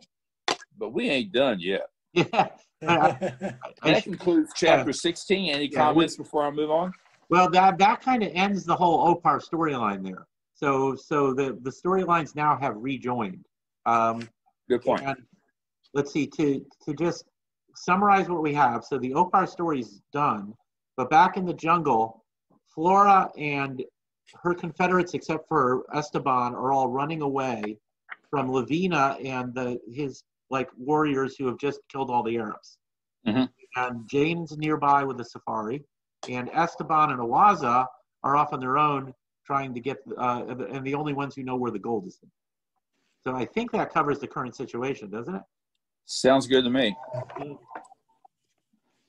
Uh, uh, speaking of um, uh, looking at the roster, but that does inspire. Look, looking at the roster here, Flora Hawkes and her four followers are Peebles, Throck, Bluber and Kraski, and I'm leaving out Esteban. You could call him a fifth follower if he were still following them.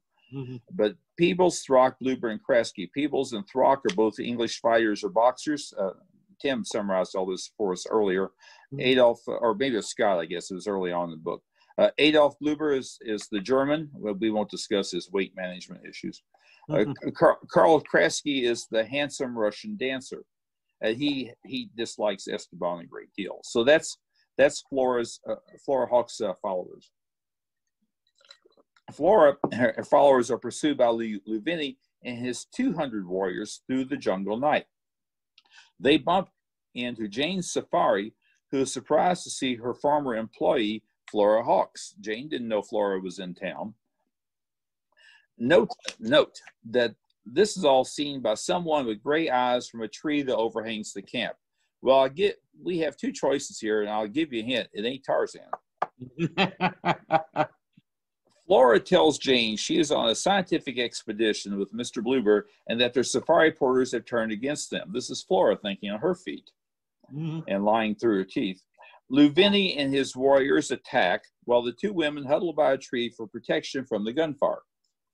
The gray eyed man in the tree carries off Flora, leaving Jane behind. And may I say, Jane is flabbergasted. She thinks it's Tarzan. Didn't get a look at him. It was all the confusion of battle. It was nighttime. She thinks it's Tarzan, her husband. And Jane falls sobbing to the ground. So she's all upset, and with good reason. This leaves her vulnerable. Is captured. Jane is captured by Luvini and his warriors who have circled the camp.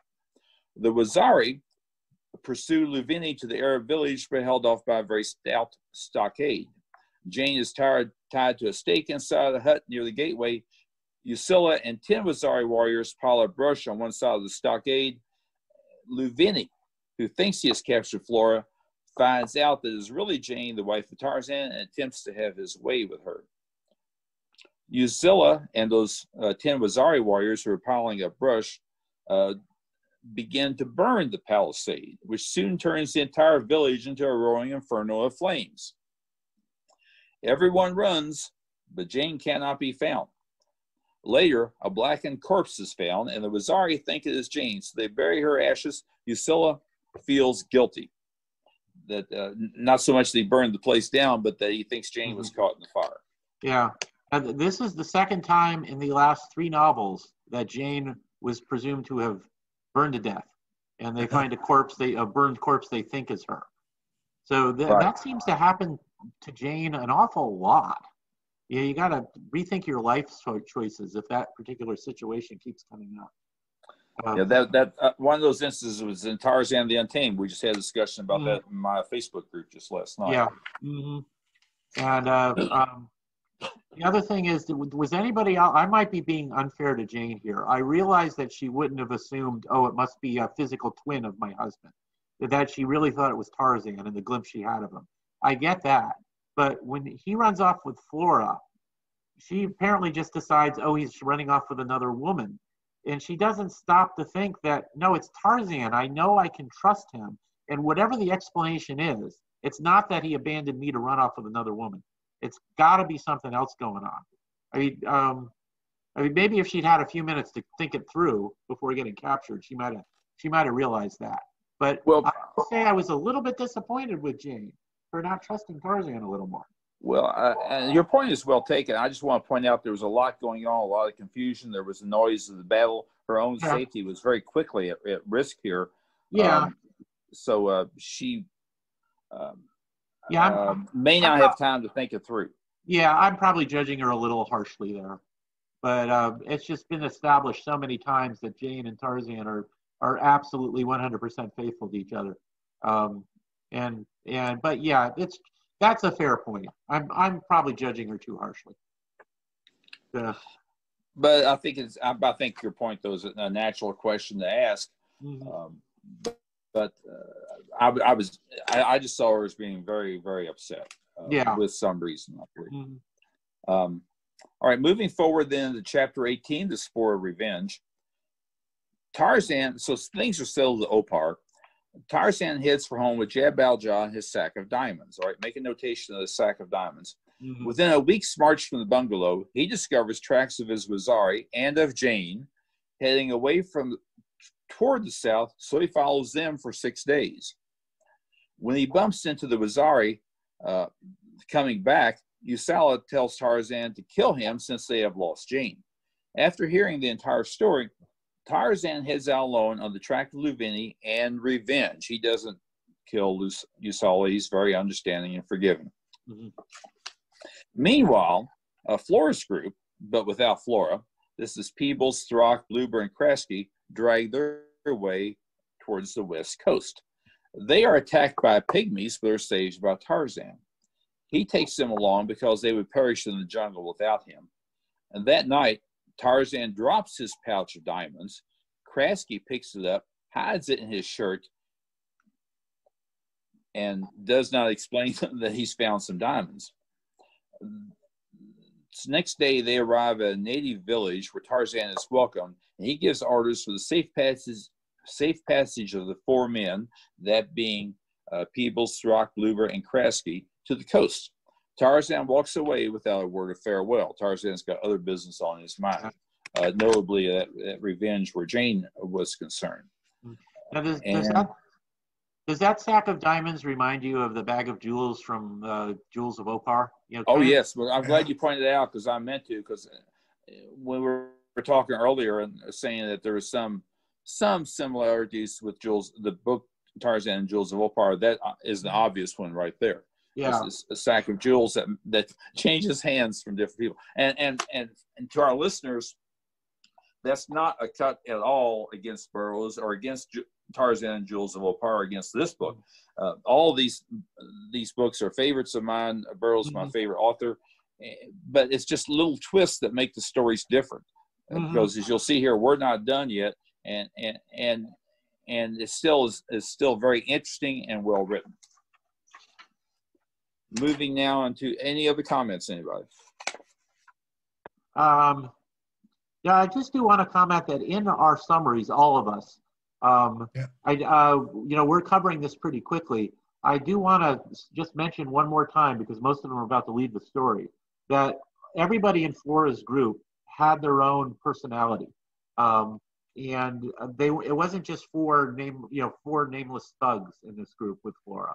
They were four individual human beings who were all rotten human beings, but uh, Burroughs does a very good job of giving them their, each their own personality and uh, their own individuality. Well said. Now moving into chapter 19 entitled The Barbed Shaft Kills. Kraski awakens, awakens early and leaves the village alone. He's afraid Tarzan will come looking for his diamonds, so he gets out of town, so to speak. So Kraski's off on his own. This is like this is like uh, herding herding geese. They all are herding cats. They all go different directions. The remaining group, that would be Peebles, Throck, and Bluber, are perplexed by Kraski's absence, but they head for the coast without him. Meanwhile, Kraski is attacked by ants, tears off his clothes, and goes running naked. He comes to a hut and hears the voices of Esteban, Miranda, and Flora. Kraski makes a skirt, and he realizes he's naked. He wants to be presentable. He makes a skirt of long jungle grasses to cover his nakedness and appeals to them for help, but they tell him to move on. Kraski even tries to shoot Esteban, but Esteban throws a spear through Kraski's heart, so that takes care of him. Esteban picks up the bag of diamonds, mistaking them for ammunition. He didn't take a close look at them. Mm-hmm. Esteban has gone completely nuts because he thinks he's really Tarzan. Esteban then realizes there's diamonds in the bag and says they're all his, but he will share them with Flora if she is a good girl. That's open for interpretation. Mhm. Flora hates him, but desires the great wealth that those diamonds represent. They came there to make money, after all, and so far things have gone gone poorly for them. Mhm. Meanwhile, Tarzan discovers his diamonds are missing. So when he meets up with the three people headed for the coast, because he goes back to ask them if anyone knows where the diamonds are, that would be Peebles, Throck, and Bluber. He has them stripped and searched. No diamonds. So that leaves Kraski, which explains why he disappeared earlier that day. Tarzan follows Kraski's trail and finds Kraski's dead body. He, Tarzan, finally comes upon Flora and Esteban just as Esteban is deserting her in the jungle. That's the end of chapter 19.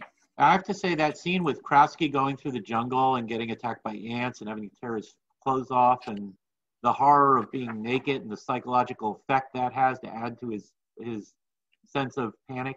Um, that that was really kind of a pretty horrific instance, uh, uh, right? You know, a situation he was in, and and Burroughs really hits all the right emotional notes. Um, Kraski's been a rotten, rotten guy, but you come pretty close to feeling sorry for him. He's brought all this on himself, but Mhm. The, the situation Burroughs puts them in is so horrific that I have to say I was feeling a little sympathy for him right for, for a few moments until he goes back to trying to commit murder. But Very, very well said. I, I thought that was a horrific scene, meaning it was well written and in Yeah. good detail. And uh, I was en- en- envisioning it on the movie screen. It would have been um, something, uh, something to watch. mm, Um, but yeah, it does make you feel sorry, make you feel sorry for him despite his bad character.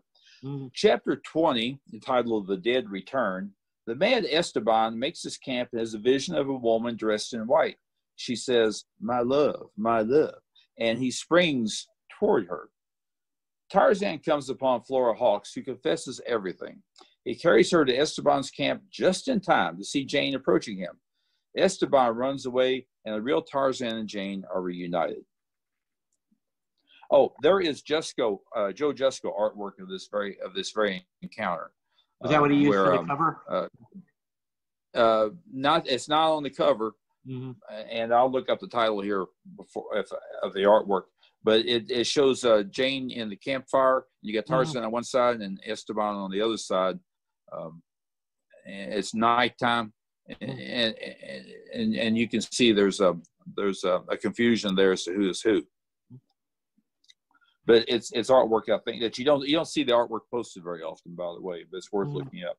I will. Uh, the, this, so so Tarzan and Jane finally talk, uh, and the deception of Esteban is explained. Tarzan tells Jad-bal-ja to go fetch Esteban. Tarzan does not want to leave Jane alone in the jungle. So Jad-bal-ja goes off to look for him. Jane explains how she killed Luvini with his own knife and how she escaped the fire under a white noose of one of the Arabs. Jad-bal-ja returns with a bloody leopard skin, so they think he has killed Esteban after all. Now, this leopard skin is not just any bloody le- leopard skin, that's our map, by the way. When they search for the body and the diamonds in the morning, they find that Esteban had maid it to a river, but he must have been eaten by crocodiles, meaning that we have not discovered a body yet. So when you don't mm-hmm. find the body, that means that person may still be with us. Tarzan and Jane agree to take Flora back as their made in Africa. Uh, Flora, Flora has, has, um, has uh, expressed her sorrows and regrets. They've forgiven her and they've agreed to take her back in their employment. The Waziri arrive against Tarzan's orders to stay behind and tell him that the gold is buried near the river. However, when they dig in the spot, they find it is gone. All they have is a leopard skin with a mystery map painted in rodent blood uh, and, and don't quite know what to do with it. Uh, that's all for chapter 20. Any comments? Um, yeah, I, I like that Burroughs uh, allowed Jane to be proactive. She does need to be rescued a lot all through the Tarzan novels, but she has courage and intelligence of her own. We see that in previous novels, uh, most especially, I think, in Tarzan the Terrible. But we see it again here. I mean, she takes out the guy who was trying to rape her uh, and has the presence of mind to put on a disguise and get away from the village uh, while a battle is going on. Um, and that's pretty awesome of her. So Jane was no like standard damsel in distress who couldn't, who would just scream and faint. She had guts and uh, she was perfectly capable of plunging a knife into uh, a man who was trying to trying to violate her. Um, she's pretty awesome here. I think that's reflected too in uh, um, Legend of Tarzan a couple years ago, mm-hmm. where uh, um, the same thing when she was looking at sneaking the knife or or whatever. Again, she is willing to fight if she needs to. Mm-hmm. Yeah, intelligent and capable. I mean, all Burroughs's women are that way, the heroic ones. Um, but it, you know, Jane, I think, personifies that here.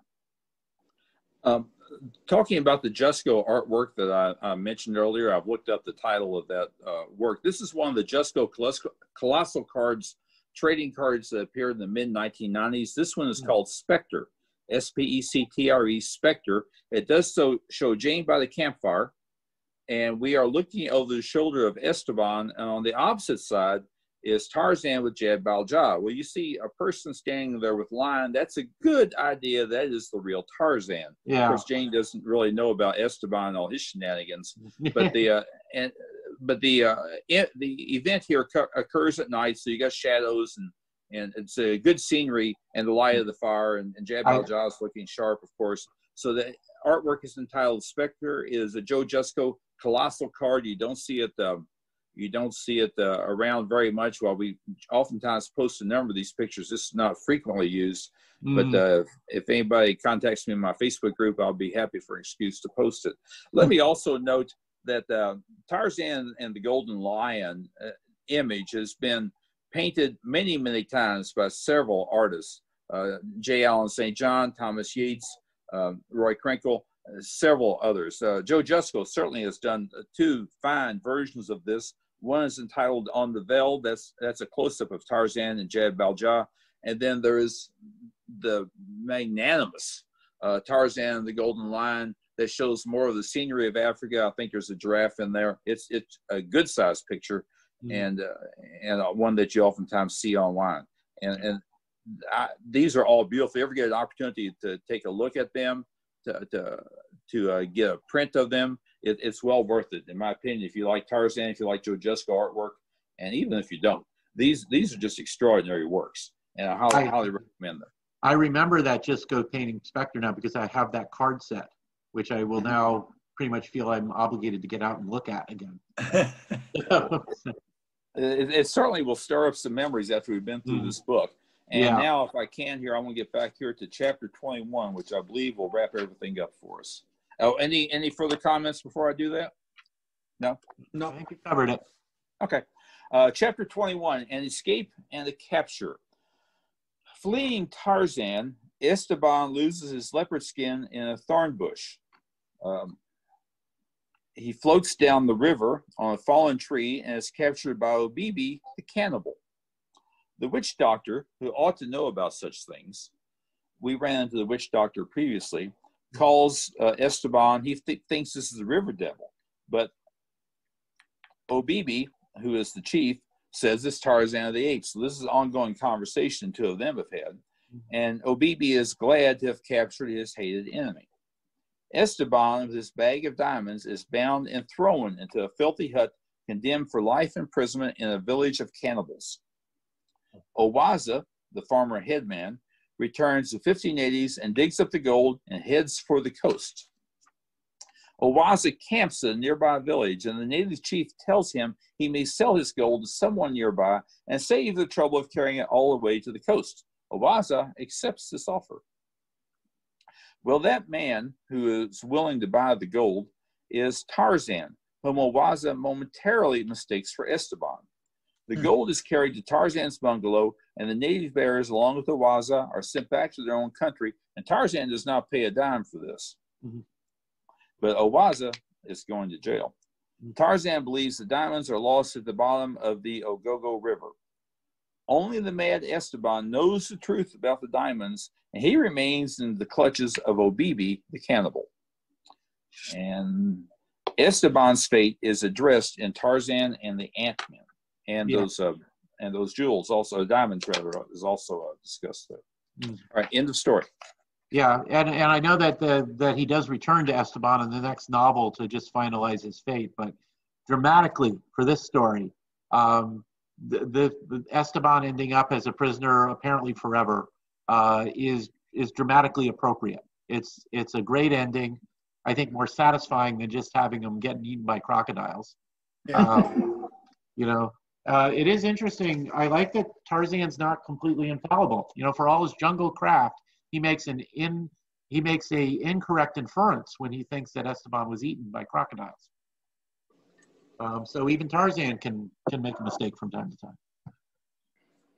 But uh, this really was a wonderful novel, and I, as I mentioned at the beginning, when I read it as a 12 year old, when I was first reading through the Tarzan novels, I was loving these novels, and I still remember thinking that this one was just okay. I don't know why now. But um, it really is just another wonderful adventure story. A great mm-hmm. example of world building with the Bolgani and the uh, the Palace of Diamonds, and uh, wonderful supporting characters. Very well said. Multiple plot threads that Burroughs weaves it all together. Mm-hmm. A master craftsman. Yeah.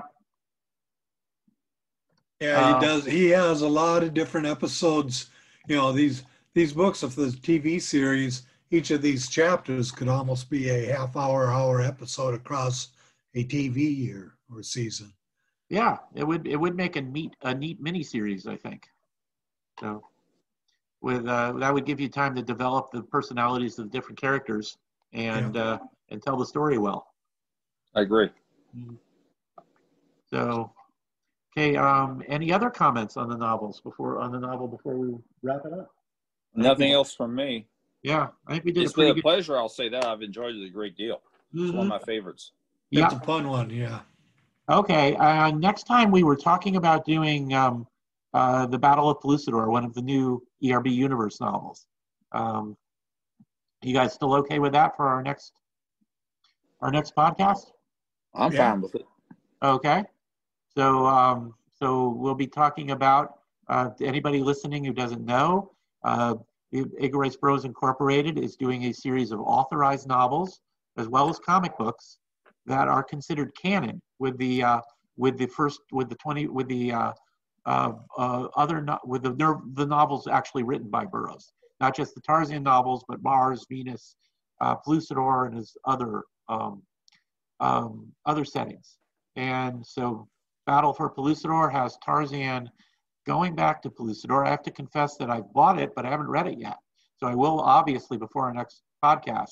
But it has a World War II setting, doesn't it, Jess? Yes, it does. There's oh, Nazis in Pellucidar, and what are we going to do about it? Okay, and Nazis in Pellucidar is just, you want me to spend money on a book? Just say Nazis in Pellucidar. and, and I'll, I'll, give you a hint as a further inducement. There are Mahars involved too. Okay, not surprising, but yeah, the, that's that's awesome too. So, um, so I guess that is it for tonight. Um, once again, my name is Tim DeForest. Um, you can find uh, my blog at Comics Old Time Radio and other cool stuff. A link to my Amazon.com author page there. If anybody listening wants to go there and buy my books and make me wealthy beyond the dreams of avarice, I have no objections to that. uh, uh, do you guys want to plug anything uh, while saying goodbye? Well, I will put in a, a, plug for my Facebook discussion group with Lilla Pop, and that would be for the love of all things Edgar Rice Burroughs. You'll find this on Facebook. You're welcome to come and talk uh, all things ERB mm-hmm. with us. And, and, and let me also add that I've been broadcasting via Gridley Wave from our studios in Pellucidar, and some of the local Mahars have invited me over for Christmas dinner, which I'm a little hesitant to accept. In case I don't make it to the next podcast, well, you'll probably figure out what happened where Mahars are concerned. you may be the main course there, Jeff. So I would. I, I could. I could. That. I could. Uh, th- there is that possibility. So, mm-hmm. so we'll, we'll see how that goes. Mm-hmm. That's all from me. Uh, I'll just say uh, the products, the uh, books and stuff that are coming out from ERB Incorporated. Mm-hmm. Uh, audience, go out and support them so they can keep on, you know, making new ones and seeing that there's a good, strong audience out there. I mm-hmm. recommend Tim's books too. They're well worth the read. They're well worth you buying. Thank you. I appreciate that. And that's and, and now.